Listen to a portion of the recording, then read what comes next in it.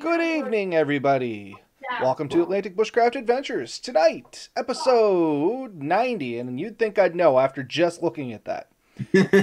Every time I forget. It's like, tip my tongue, I go to say it, it's gone.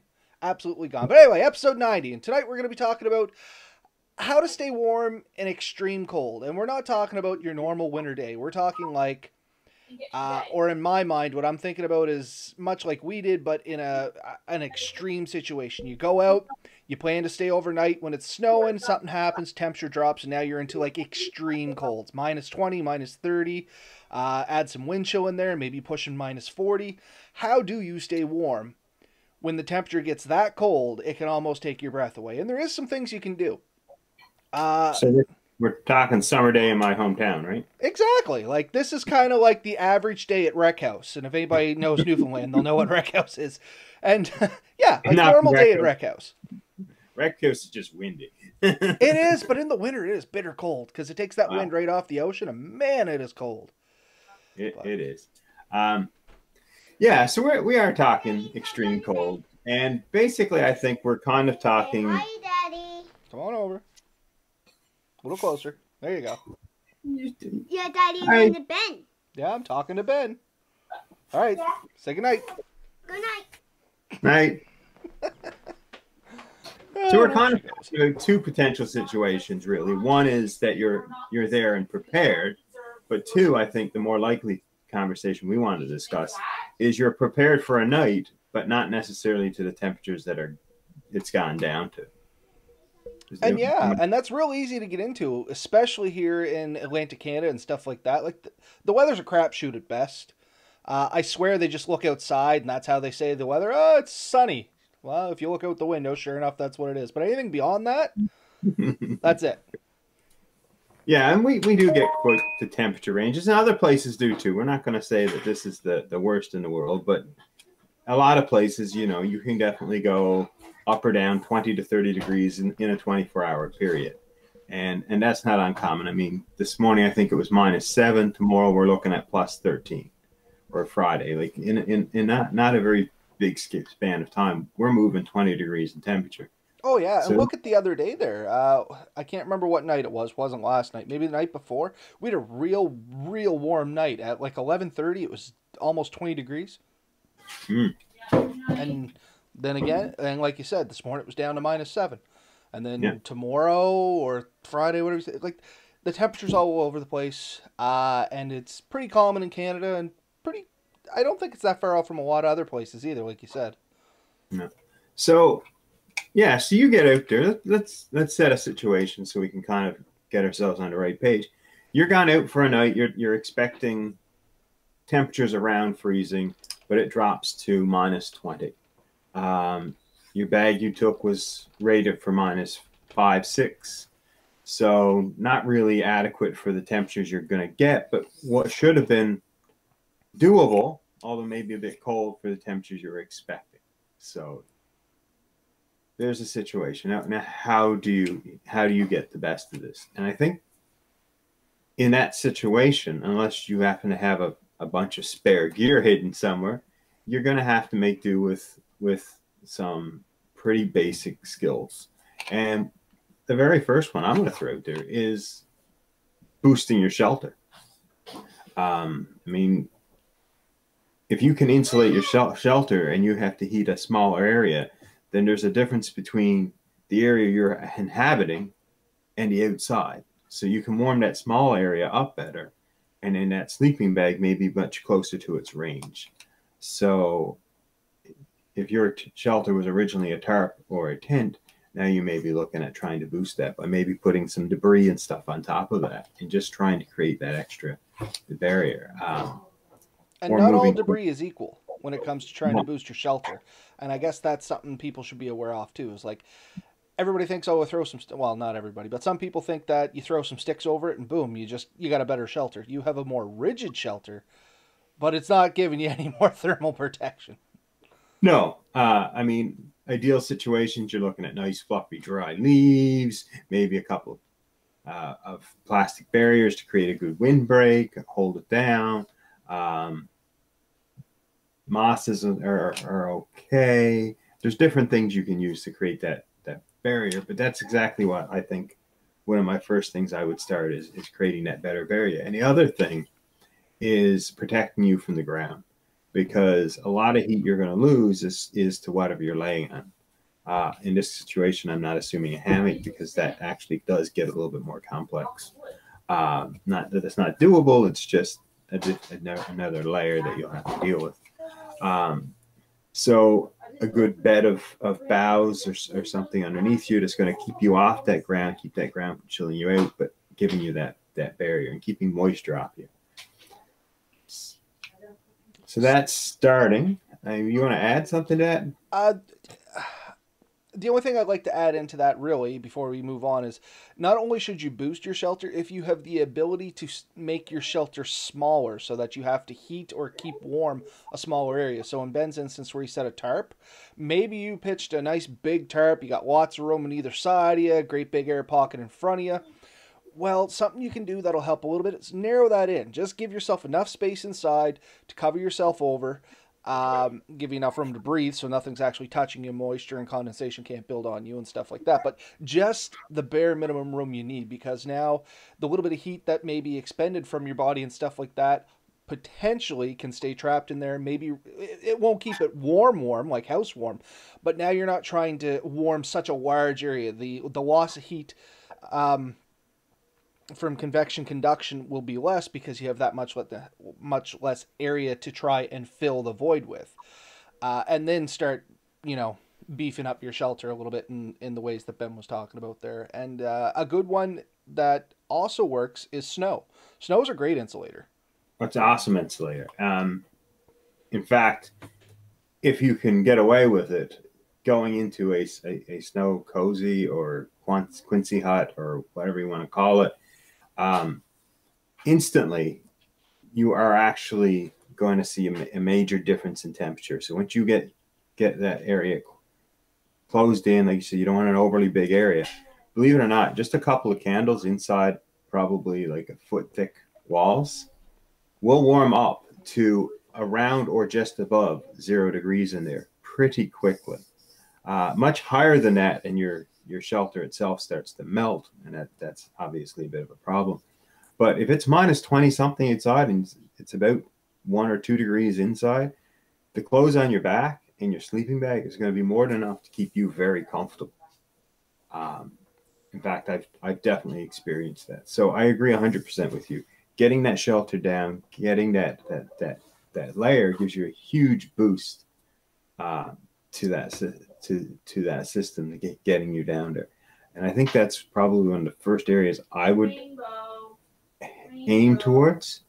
Uh, some people might jump and say, well, just build a bigger fire. I mean, yes, building a bigger fire is, is an option, but you have to maintain that fire, and that's going to be a lot of work. And if you want to get a nice big fire and, and use that to keep yourself warm all night, you're talking about, you know, I'm not saying cords of wood, but maybe going to be approaching you know. Well, depending on the weather you're in, like I'm thinking, if you get trapped in, well, not trapped, but maybe unexpectedly hit with a, a snow squall or something like that, where there's a lot of wind, a lot of blowing snow. I mean, it, it, if you have to go away from your fire to try and retrieve more wood, you might actually be doing worse off than trying to hunker down your shelter and wait it out. Yeah, um, agreed. I think a, a, a fire is definitely a help, and you can definitely use that fire to boost things. And, and there's a, a, few things you can do. If the fire is close to your shelter and it's reflecting some heat towards you or, or pumping heat towards you, that's great. Obviously, with a fire and shelter, you kind of have to be somewhat careful. You don't want to A, burn your shelter, B, smoke yourself out. Um, so you do have those struggles, and you want to protect all your gear, like your sleeping bag and all that. So depending on what how you're de- dealing with that, uh, you do have to be somewhat careful.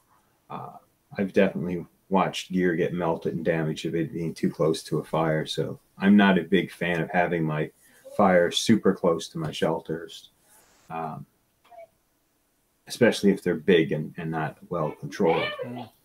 But uh, a fire is great, and you can heat things up with a fire. And there's a few things that you'll want to consider heating up. One is a rocks that you can pull into or near your shelter. That'll radiate heat out for, for quite a while before they lose their heat completely. The other thing is water. Heating a, a, a, a bottle, especially a, a, a metal bottle, and wrapping it in some of your clothes that you're not wearing, you can throw that into your sleeping bag, and that's going to again radiate that heat out for a while and really boost that sleeping bag's uh, ability uh, quite a lot.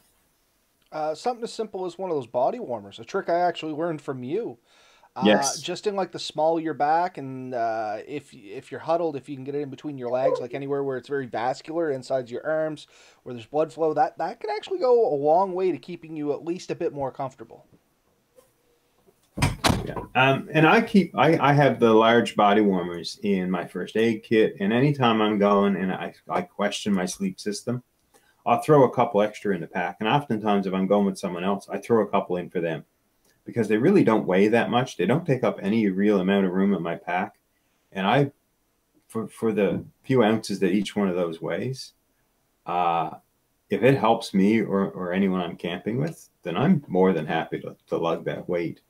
And that's exactly it. Throwing one of those in the bottom of my sleeping bag, I swear, gives me five or six degrees temperature uh, that I will go down in that sleeping bag. Um, so that's that definitely brings it up. You get the similar effect with that hot water bottle, and that's something you can kind of heat up and cool down and, and reuse a bit more. But those are both great options. Something you can put in the sleeping system into your your your your close to your skin. Like you said, if you put it inside your thigh, under your armpit, that really warms your whole body up. Uh, so that helps for sure. So that those are two methods we've already talked about. Um, is boosting your shelter, adding heat into your shelter system using either a fire or those chemical packs. Another uh, huge one. Go ahead. No, I was just going to say I do have one last thing I want to say on those heater packs. Um, you can get chemically activated ones or air activated ones. Um, both have their their place. Don't get me wrong. My only two cents I'm going to add in there is uh, on the air activated ones. I have run into the problem where I actually took some hunting with me this year, and I hmm. thought mm. uh, I didn't have very good footwear. Uh, so I said, "Oh, hey, I'll just break these open. I'll throw them in my boots, and it'll keep my feet warm. You know what I mean? If it gets cold." So it never really got cold enough this year to really be a problem. Uh, before I tagged out, so no big deal. But I was like, "Screw it! I got like ten of these things. I'm going to try one." So I broke it open. It says it takes about 20 minutes to come up to full heat. Once it got warm, things were great. Threw it in my boot, just kind of loosely set my foot in there. But however, by doing that, I guess I blocked enough of the air off that that heater pack went cold. So that's something yeah. to keep in mind too. Uh, now, for me, I'm probably going to start looking for the chemical activated ones. They're kind of in a sealed pouch. Yeah, you, you still break them open, and it's all internally chemically activated, and then air is not such a big deal. But that was something I didn't take into consideration when I originally bought those heater packs and said, "Oh yeah, I'll just throw them in my boots and keep my feet warm." Great idea. Didn't work in practicality. So just food for thought for anybody out there that's thinking the same thing. Uh, learn from my mistake, I guess. Yeah, so the air activated ones in like a sleeping bag, you're not sealed to that level. It's not going to consume all that oxygen. I haven't had a problem with those, but I can see that in a boot, especially a waterproof boot, it, you're air limited. So then the, it'll release very little heat, but it'll probably last a long, long time. It'll only give you a few, say, degrees in there while they're in your boot. You have to take them out for a while, warm them up, and put them back. So it definitely is a little bit of an issue. The uh, chemically, the ones, the ones are in like a sealed bag with a little disc in it you break. Um, I found some in the dollar store. They come with little knit, knitted mitts to go in them uh, recently. So you can buy little ones. They're very small. Uh, we bought them from Lee Valley years ago, and they are reusable. You you throw them in boiling water, they heat up, they go back to a, a liquid, and then you when you break that disc, they activate. The only problem I have with those, and they work well, they don't last quite as long as the air activated ones, is sometimes they randomly go off on their own. Yeah, once upon a time, Mel bought some. It was a set. There was a couple shaped. I can still picture it. There was a big one. Two of them were shaped like feet, and there was two small ones. And I can remember we literally had them stored in the nightstand because she used to use them literally for going to bed. Uh, sometimes it was cold. We have wood heat here in our bedrooms at the far end of the house, so sometimes it's a little colder there. She'd break one of those open, throw it in the bed, because you can reset them. And just sitting in the end table, uh, she opened it and went to use it, and the two big ones had already gone off, and yeah. they were hard again. So yeah, that that is something to definitely keep in mind. So another thing believe it or not, is just eating. Uh, a full stomach um, produces quite a bit of, of heat while digesting food like that. At, work it takes to digest the food will actually heat you up. So if you eat just before you go to bed that at night, you will actually be warmer than if you you, you go to bed hungry. Actually, instead of typing all this out, Troy asked the question. Um, what are those hot packs like for your hand? And what I was typing out to him, if you could hear me rattling away there, and I might as well answer this question, was the hot packs for your hands awesome. Uh, the ones I tried in my boots, like we were talking about, they kind of went cold, pulled them out, give it a couple minutes, boom, they're right back up to temperature. Now, if I after I learned that they won't work in my boots, I just kind of threw them in my the pockets of my jackets. And anytime my hands were getting any any bit of chilliness to them, I just throw them in my pockets and within minutes they'd be nice and toasty warm. So those air activated heater packs work great in my pockets. You could probably stuff them in your gloves, it would still be fine. As Ben said, anything that breathes, they're going to still work really well. It's just when you get them in a real oxygen deficient environment, my boots were basically, uh, uh, I don't know, they're like a knockoff bog or something like that. They're like not really a rubber boot, they're more of a neoprene kind of boot and uh, yeah, they, they did not work well in there. And I thought, you know, okay, well, I'll just throw them in the bottom and I'll just loosely put my feet in and hopefully the heat will radiate up. Nope, within like three minutes, those packs were ice cold, like they had never been went off. It, it was the weirdest thing how fast they actually cooled off. Uh, but no, it, pockets anywhere where Samara can get at them, they work great and they last a long time. I think the ones I have were 10 hour ones and literally like at least eight hours later because uh, my father-in-law and i had actually timed it eight hours later they were still like toasty warm, not getting cold by any means. So I I don't know if they'll go the full 10 hours, but I can guarantee they'll go for 8 hours, which is definitely a decent night's sleep in the woods. Would you not say, Ben? I, I can't remember the last time I got a full 8-hour night's sleep in the woods during cold weather. Uh, honestly, yeah. Um, two weekends ago, I was in the woods with Chris, and uh, we uh, I took one and threw in the bottom of my sleeping bag. And when I got home the next day, I had taken it out of the sleeping bag, put in my pocket. I got home the next day. So that was, say, 10 o'clock at night. I opened one of those and threw my sleeping bag. The next day, around two or three o'clock, when I handed it to my daughter, it was still making heat. So I was getting heat for quite a while out of that. Now, maybe in the sleeping bag, down by my feet, it may have not been producing as much heat as it could have. It may not have been getting full air because it was inside clothing and stuff and somewhat restricted, but it was still producing heat all night and it produced heat during the day. And like I said, when I was coming back, I had my pocket, I warmed up my hands when we were paddling. So it, they work, they're, they're very good. Uh, and I think they're, they're very much worth it. Um, and they're not that expensive. Christopher Lovelace said he bought a pack of 40 of them for like $7 on Amazon. I didn't get a 40 pack, but I think I had like a 10 or 20 pack, and it was only 5 6 bucks too. I found them at Mark's, uh, not Mark's Work Wearhouse, uh, Workman's. What's that place called? I think it's just Mark's now. I don't know. But anyway, it, they're not expensive. You can find them readily. Um, so hopefully that answers your question a little bit there, Troy. Uh, and just while we're on the note there, just like to say hi to everybody that joined us live here tonight. We got Troy, we have Danny, we got Chris, we got Christopher. Uh, we got a pretty good, pretty pretty good audience with us tonight in the comments there or the live chat. So hopefully they'll add their input in here too. Um, so yeah, we talked about beefing up your shelter or adding some more thermal layering to it to not to try and trap heat in and around you, as well as keep the cold and wind out.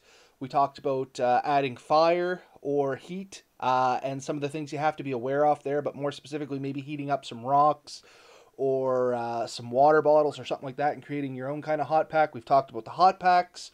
Um, and we mentioned it at the first, but if, if you're good to move on, Ben, the one I'd like to talk about is separating yourself from the ground or putting some thermal layering under you, and a couple different ways you can do that as well. Yeah, go ahead with that. So the number one way to do that is uh, let's assume you got uh, stuck and it's snowing. Um, in this instance, snow is not going to be the best insulator that you can put underneath you because one, it's going to melt as your heat hits it, uh, and that's going to make you wet. Water's so not your friend. No, no, and uh, I mean you've heard other people say uh, you sweat you die. Well, it's it's not just you sweat you die. You get wet and it's cold you're going to lose significant amount of heats to the point where it could potentially endanger you. So you have to keep yourself dry as well. And the best way to do that is to layer something underneath you. So that may be having to revamp your shelter once again if you're tarp uh, camping or something like that.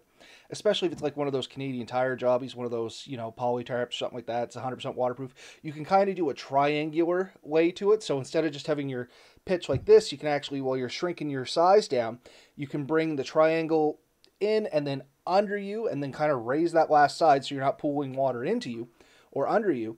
Uh, and that's going to give you that dampness barrier, but you still need something under that to get you away from the ground. So spruce boughs work good. Uh, any kind of fir tree works good. They might be inherently slightly damp, but they offer quite a bit of uh, airspace in between them. They they act as an air cushion because they have all those needles.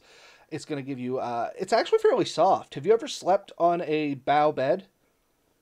I've slept in a in a in the boughs and they're still in the tree, man. I can't see. Yes, I have. Found this tree one time. There's these, these two or three branches and they were intertwined, and we actually lid on top of them, and it kept us like a, a foot or two off the ground. And I just slept there for a period of time. It was awesome. I can't say as I've ever managed to do that, but I have slept on a bough bed. And if I'm making a semi-permanent shelter, meaning and keyword making it, uh, I I like to use like the uh, super shelter design with an open front, so you make a lean-to, cover in your sides, so you have like a, a, a yeah. trying to do this with the camera, but it's hard. You have kind of a pitched roof. You would be here. You have your two sides in and a fire in front of you with a little bit of a reflector wall or a a windshield wall, whatever you want to call it. You know, the yeah. arguments there. That's a whole other show. Um, but then if you stake in some posts and put a couple bigger logs on the outside and kind of literally just make a box and just stuff that thing full of uh, fir boughs is what I like because I prefer the smell of fir trees, but that's not always what you can get there. Spruce, I find the needles are a little stiffer.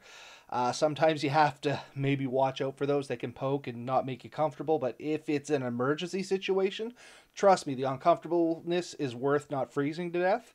But if you have the time and the nicety, fir seems to work really well. Pine works really well, except pine tends to be really sticky.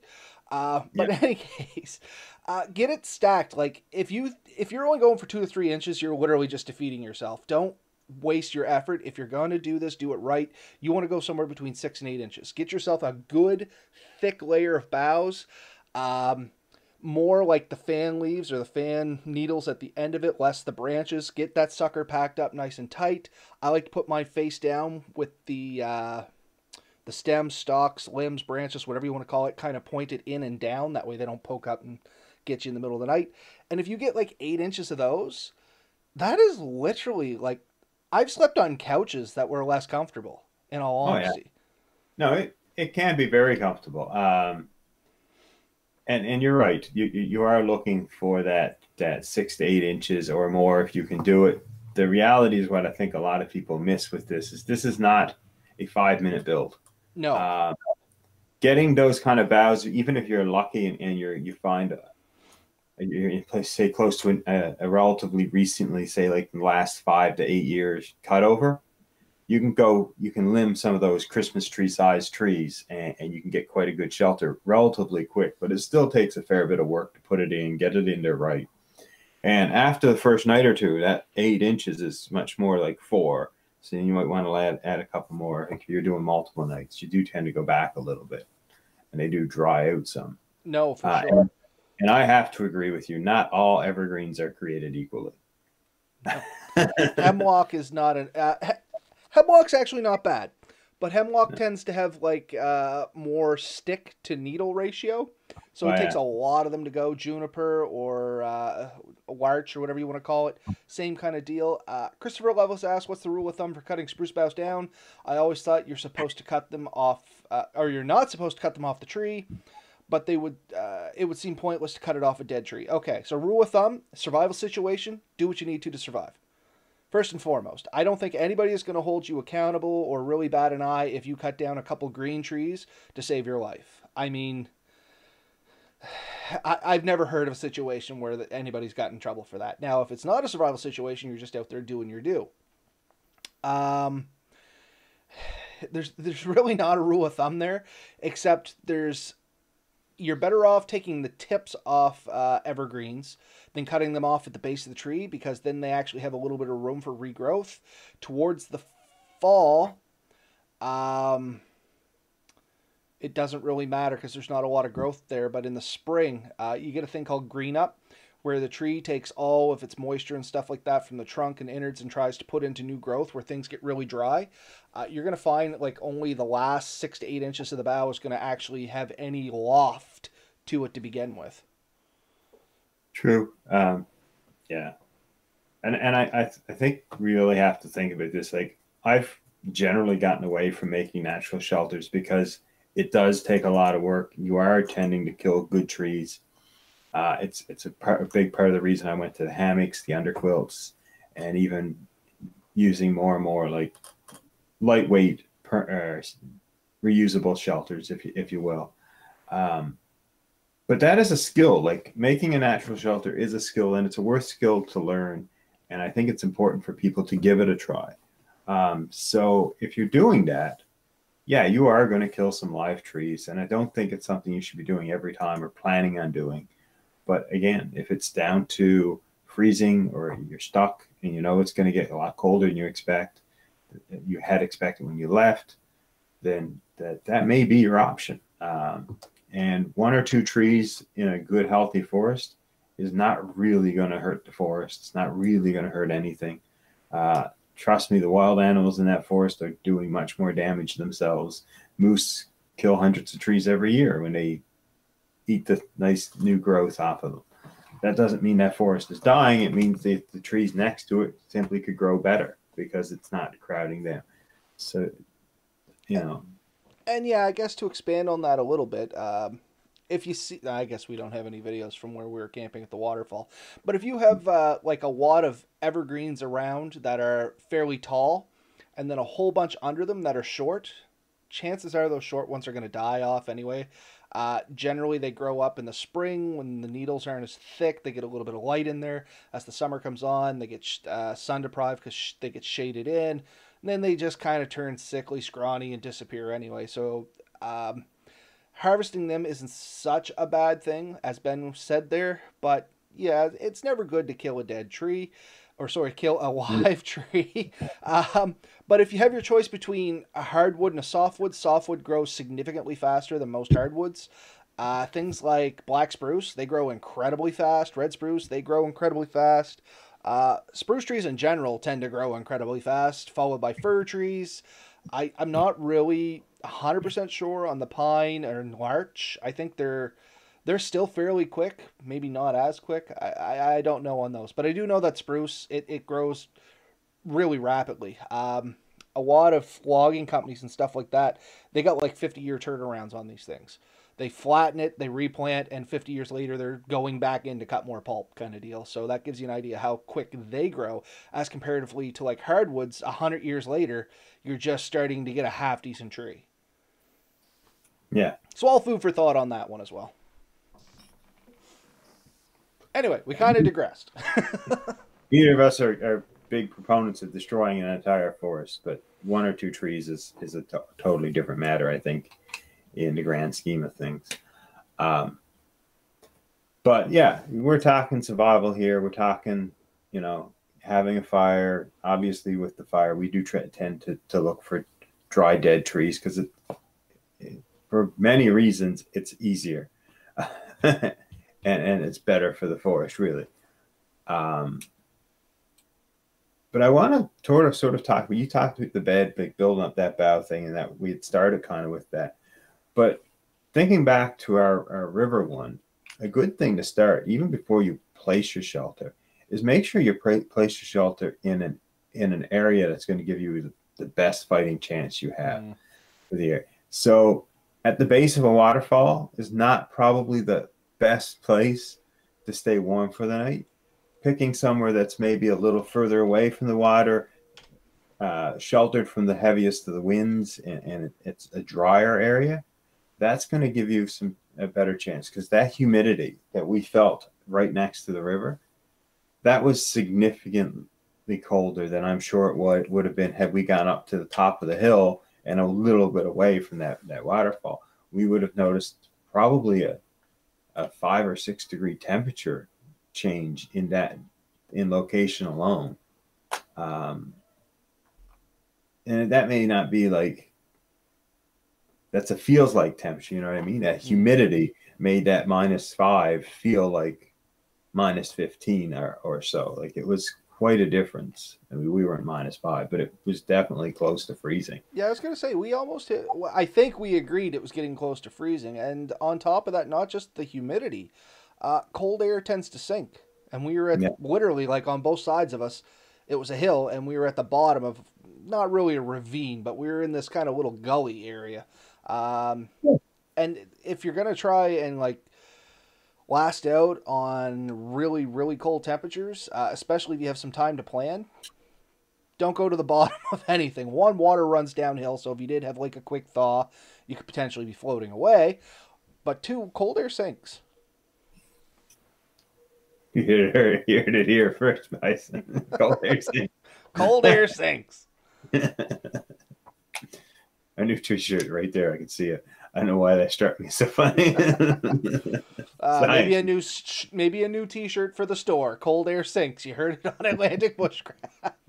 but it is true. Cold air tends to go to the lower lowest lying part, and if you happen to be in there with it, uh, you're making your life way more miserable than it needs to be. Even if you're not in a survival situation, like why go through all that extra hardship for no reason? Yeah, no, hundred percent. So these these are things you're thinking. I mean, just think of it on a on a cool morning where you see all the fog sort of settling. That's that kind of gives you a good idea of where the the the more humid, cool areas are really going to be, and it's you know right on the sh- shorelines, right in the little uh, divots in in in valleys and, and stuff, right? So you get kind of want to get out of that, but you also want to be away from wind because the wind strips the heat away from you. So pull yourself in under the shelter of, of like a good tree line. Go go back in the woods a little bit. Find you know a small opening that you can you know clear enough that you can set up your little shelter and and maybe still have your fire safely, but not be wind blown. Uh, what are you reading there, Robert? Yeah, I was just about to say, I was just about to call Steve out on his spelling error because it was funny, but he corrected himself. So, anyway, he right. said, cold air sunks, cotton kills. I was just about to say you heard it here first. Cold air sunks. But anyway, he corrected himself, so we'll let we'll let him off the hook with this one. But yeah, it's very true. Cold air sinks, uh, cotton kills. Cotton is a great material for a base layer. It wicks well not even a base layer. It's a great layer in the summer because it wicks moisture. But um, it, it doesn't offer a whole lot of thermal value once it gets wet. Uh, and there's better materials out there for even when it's dry, like uh, wool. Wool is a favorite for cold weather because even when it gets wet, it retains a ton of its heat ability. What is it, 70, 70 80%, something like that, Ben? 80, I think. Yeah, yeah so, 80. I mean, if you can stand wool, wool is kind of like the golden standard in cold weather because it's uh, it's a very thick natural material. Well, yeah, it is natural material. It's made from sheep's clothing. Well, could be sheep, could be alpaca, could be a couple different things. There's different wools, but anyway, it's uh, it's a good material because it it's tight knit generally. Uh, wind doesn't get through it very well, holds a ton of body heat, and if it does happen to get wet from a little bit of sweating or if it gets damp out or something like that, you're still going to retain a lot of the heat with it. So wool is kind of the golden standard. Then you can get uh, different things like uh, polyesters and stuff like that, which some of them have benefits, some of them have negatives. Uh, that's once again a whole other show on its own. But do a little research and see where what is good for you, because not everybody can handle wool. I'm not a fan of wool, but if I'm going out and it's cold at all, I got a wool blanket. Like I mean, being a little itchy, better than freezing. Yeah. Um, yeah, I, I actually have a wool blanket done up with some snaps that I oftentimes will put my sleeping bag sort of inside of, kind of protect my sleeping bag, especially if I have to set up close to a fire. Yeah, and that's the other thing. Wool tends to smolder more than burn. Not that you can't burn it. Don't misunderstand. You can burn wool. I have a wool blanket that has a corner burnt off it, but it tends to smolder a little bit first. so as long as you're not right on top of the fire. My friend, with the right amount of heat, you can burn anything. Oh yeah, yeah. Everything I've burns. It's just at what temperature. I've seen a rock burn. I've seen one turn red. I've literally seen red rocks from a fire. Yeah.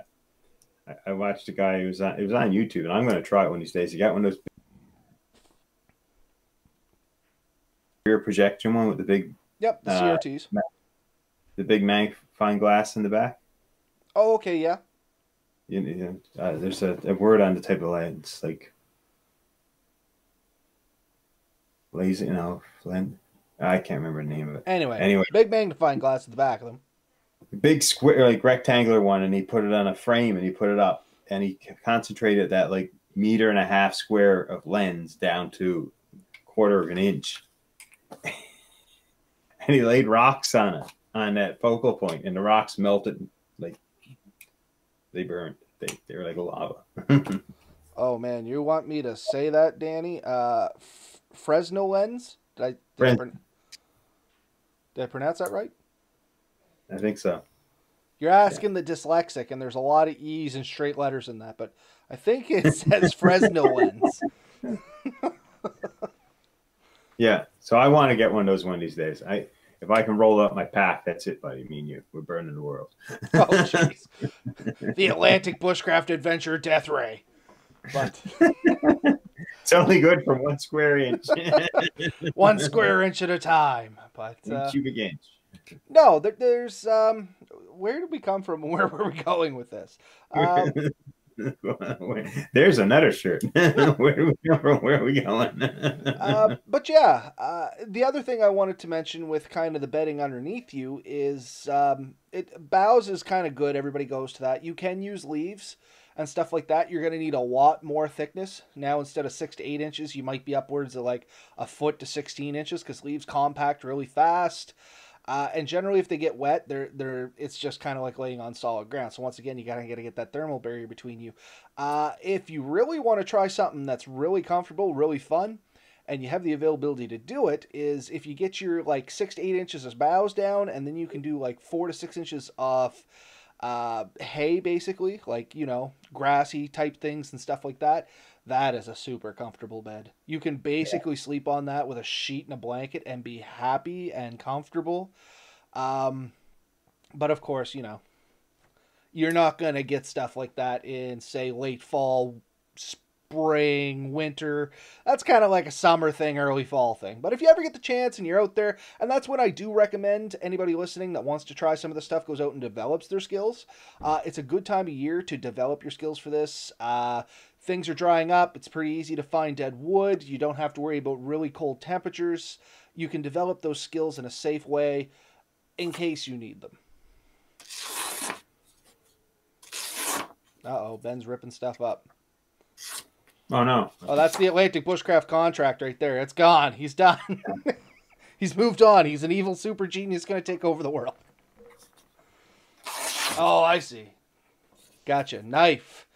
Uh, but yeah, so if you can get a good thermal barrier under you, kind of close the area in around you and thermal that in, uh, your own body heat will do a lot to keep you Oh, yeah. alive.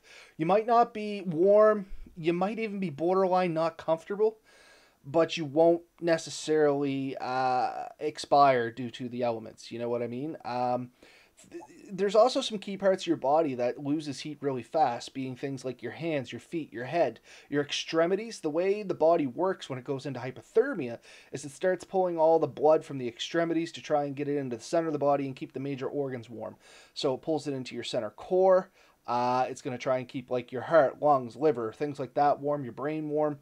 And that's why your hands and feet and things like that tend to get colder first. So keeping that in mind, if you can keep those extremities warmer, uh, it, it's going to take away from, you know, pulling that heat loss away from there. So once again, the hand warmers, a good set of uh, camp camp slippers. Have we figured out what those things are actually called? But anyway, even some good foot coverings, uh, wool socks, maybe a couple pair of socks with a little bit of looseness in there to get uh, air Camp layer to keep you warm. Camp booties. Literally, Amazon this thing and you'll see them. They're they look great. They look like snow pants for your feet. I totally want a set. I haven't set it down, booties. Do you? Oh yeah. Man, you are the man, Ben. I gotta get myself a set of those. Ever since I seen Yeah. Jeremy wear them, I'm like, I want those. Oh no, yeah. We, we ordered it. Ours are called Sundicks.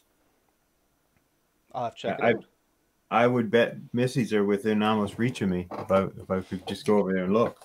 Uh, but no, we, we bought them online. They're, they're down and they just go right over like your buy them a size big, really, if you're if you if you're ordering a set. Because, but yeah, and the thing is, they're they're actually good enough that you can actually just put your boot on over them, and they don't crush down. So if you have to get up to pee or something, you don't even have to take them off. Just put your boot on, go go out, do your business, come back, pull them out, they'll fluff back up and keep your feet warm. Because if your feet are cold, I don't care what the rest of you are, you're froze. You can't, you know. Uh, at least that is the way for me. Um, so we talked about underneath you. We talked about getting a shelter around you. We talked about potentially throwing something inside your sleeping system to keep you warm.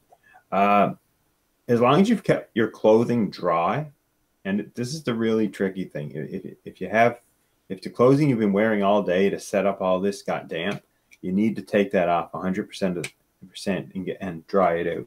But if it stayed relatively dry, uh, just wearing that extra clothing in the sleep system with you is just going to keep you warm too. Uh, any any insulation that you can add is, is going to be more insulation. The other thing um, might be, and this depends on your whole situation, is other forms of body heat. Um, I, I often camp with my dog. She will quite happily lay down next to me, and that provides a ton of heat.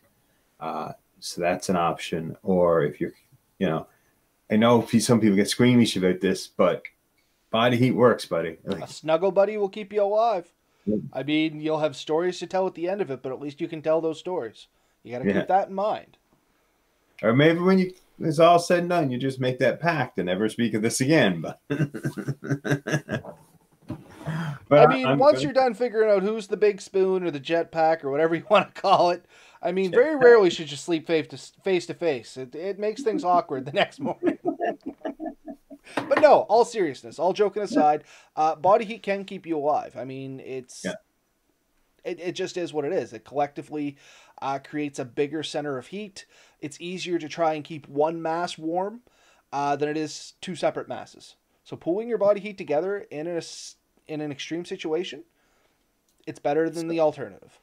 So combining your shelter into one smaller shelter that that that multiple people uh, can can share that body heat gets trapped in that same area using those your sleep system like pulling it in together and so you, you can zip sleep some sleeping bags together or just there's different ways to get physically closer to someone and, and get that that warmth. To share that warmth between you uh, can make a huge difference in, in, in a dire situation if you have that option.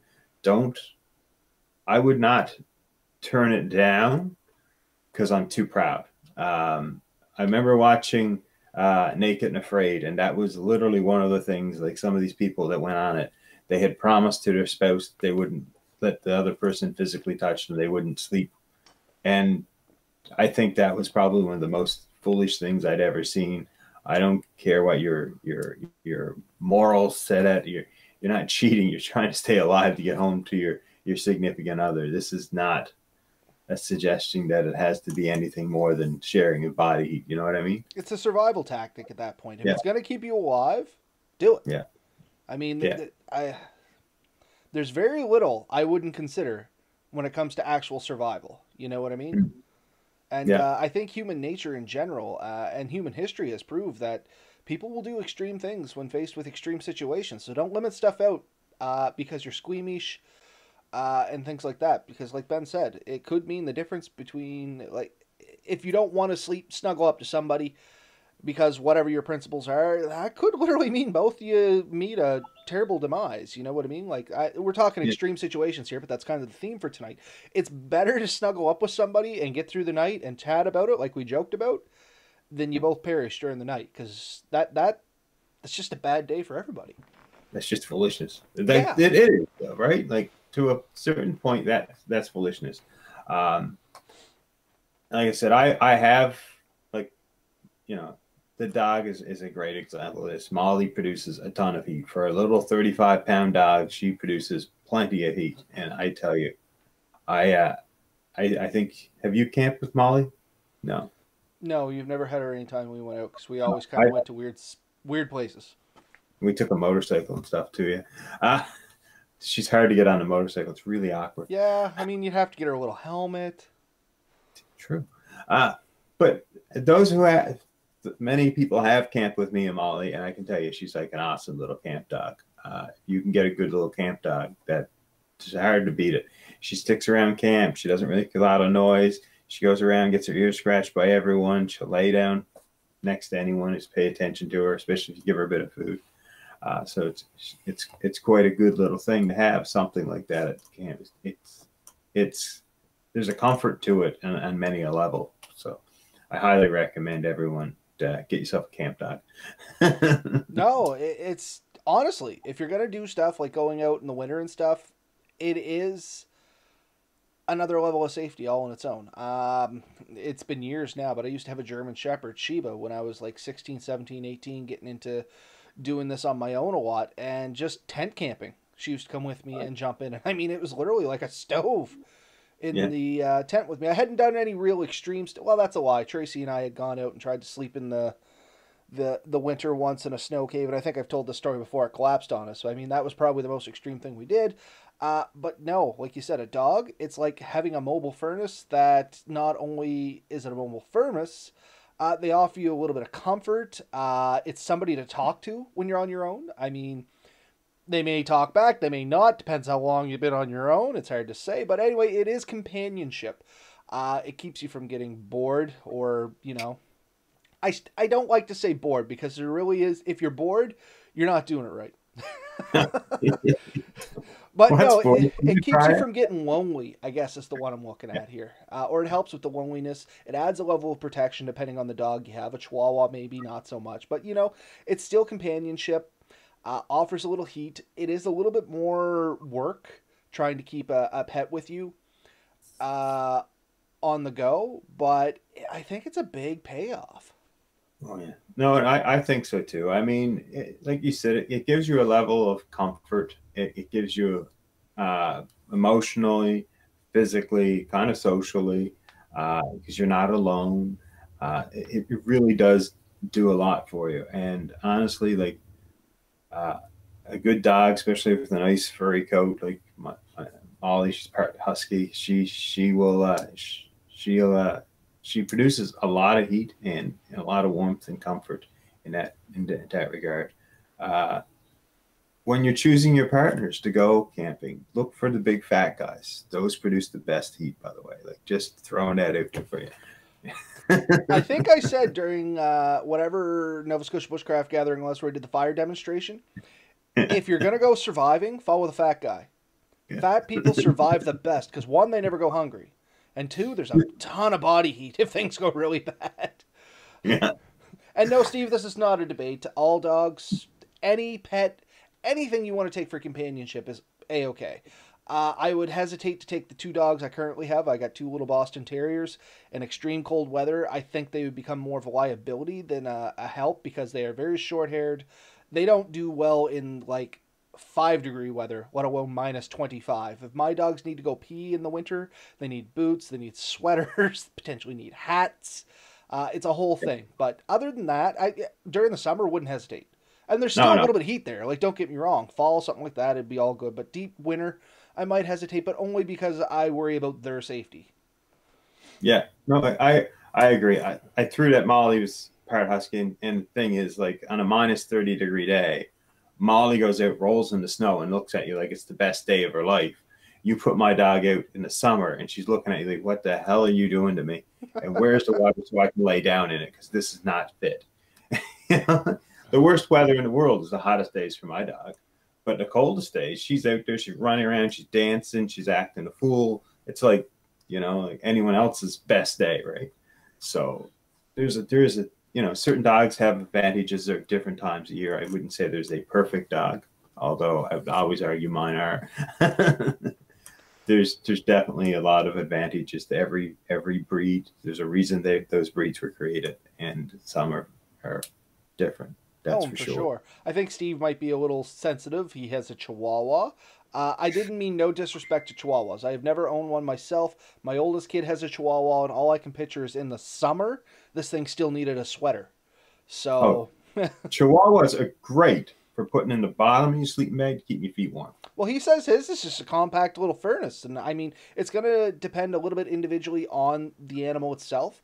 I mean, I uh, different dogs, same breed, are gonna have different tolerances and like different things. So, one hundred percent, if your dog likes the weather, uh, and is comfortable, by all means, any anything you take for companionship is going to help you along like that and provide a little extra heat.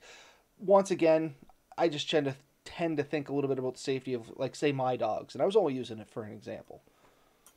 I had I used to have a miniature poodle, and it would love to crawl down by your feet and lay down. It was great. of course, they they have hair, so they just grow as much as you need them. So once again, we kind of digressed a little bit there. Not really, but kind of did. Uh, so we talked about uh, what did we talk about? We talked about bringing heat in with you, compacting shelters, thermal barrier under you, over you. Um, we talked about the snuggle buddy thing if it gets real bad, which is still good. We talked about bringing, uh, and your snuggle buddy can be your pet, as we talked about or just finished talking about here. So Decent tent plus Chihuahua equals four season comfort. I mean, if you're all good with it, I, I don't doubt you at all, in all honesty. Like I said, as long as the animal's good with it, I don't doubt it. Um, so what what's with the cup, man? Good hot drink, buddy. A good hot drink. There we go. Sorry, I, I did not pick up on that. I was trying to flip through comments, but yeah. So, I, I started, I drank my tea before the show started, but just before. And a good hot drink before you go to bed does a world of good for you. Uh, so those are things like eat a good meal before you go to bed, nice hot drink, preferably a warm meal. Get your shelter size down, insulate the walls as best you can, insulate your sleep system as best you can, right, heat it any way you can, whether it's with a buddy, with with your uh, heat packs, with your dog, anything you can do to produce more heat in a small shelter is going to make a huge difference how you sleep compared to what it's like outside. You get these these combinations built up, you know, a good shelter with an okay sleeping bag, but then adding everything else into it, you can sleep in a minus 40 degree weather outside in relatively comfort in a sleeping bag that's definitely not designed for it. But you've by doing it, the way you've done this is by adding up all these these factors and, and getting yourself over that edge. No, for sure. And everything we talked about, it's not the one off that's going to make the difference. It's do as many as you can to yeah. help your situation out. And I, I guess the last thing I just kind of want to throw in there uh, is kind of the Cadillac to this, uh, or Cadillac solution to this problem is if you have the availability, hot tented. And you you know yourself, Ben, you you've done hot tenting. You can get some pretty cool weather and stay relatively warm with a good because all you're doing is pulling the fire inside the space now with you. So if you have the space just big enough for you, uh, your little hot tent and enough air circulation so you don't suffocate yourself, of course, you can stay pretty warm. So, did you see Jeremy's video a few weeks or last week? Uh, the last one I seen was the hot tent giveaway. Oh, he did one a little while ago that I actually enjoyed. That, sorry, Jeremy, if you, if you some of I haven't maybe. Uh, he did one with a lantern. He heated his hot tent with a lantern, and I think he got six to eight degrees difference between the inside of his hot tent and the outside with just a lantern. Now he used a slightly thicker walled canvas tent with uh, with snow flaps, so he had a relatively sealed area. But he did have a chimney, so he wasn't even capturing all that heat, but making sure that the, the bad gases and stuff went out. And what that lantern did, just going up that chimney, like the heat going out, you can watch heat coming out of the chimney, uh, still created a six to eight degree difference inside the tent than outside. So any little bit of heat you can bring into a confined shelter it adds a lot. Um, so just a couple of candles, uh, believe it or not, especially in something like a, a, a quinzhee hut or an insulated hut, will make a world of difference compared to what it's like outside. So it's just something to keep in mind. His lantern was just one of those little, uh, I, I call them kerosene or paraffin wax, mm-hmm. liquid paraffin uh, candles, uh, things like that. believe it or not, these those little uh, candle lanterns you can buy. Those will create a fair bit of heat, and you can light one of those into a shelter, and it'll make a big difference. Uh, so things like that will also make a difference. But using all these factors to to bring the temperature up can get you through a cold night a hell of a lot better. And the reality is, these are great to know things because you never know when you get out there and a piece of gear will fail or, or become missing. So you go out on, say, a, a canoe trip uh, late in the year and you flip over and your sleeping bag gets absolutely soaking. Now you're out of sleep system. That doesn't mean you have to freeze to death. If those temperatures could drop to negative that night, you're going to be in a hard shape. But you can, you can survive. You can do well and you use what you have and what's available. And some of that is is following these systems. In that case, I probably end up incorporating my canoe as part of my my shelter. That could be one wall. Um, nope. And I guess the end is your imagination is the only thing that's going to limit you. So yep. we just offer suggestions on ways that you can do things.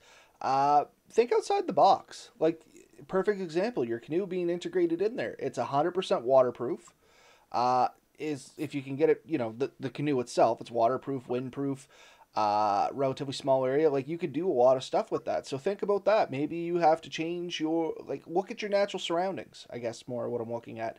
Uh, and yeah. you can do a lot. Don't let things, don't limit yourself. Um, always be looking, always think outside the box, keep this stuff in your head. And it, it's literally just tools in the toolbox. You know what I mean?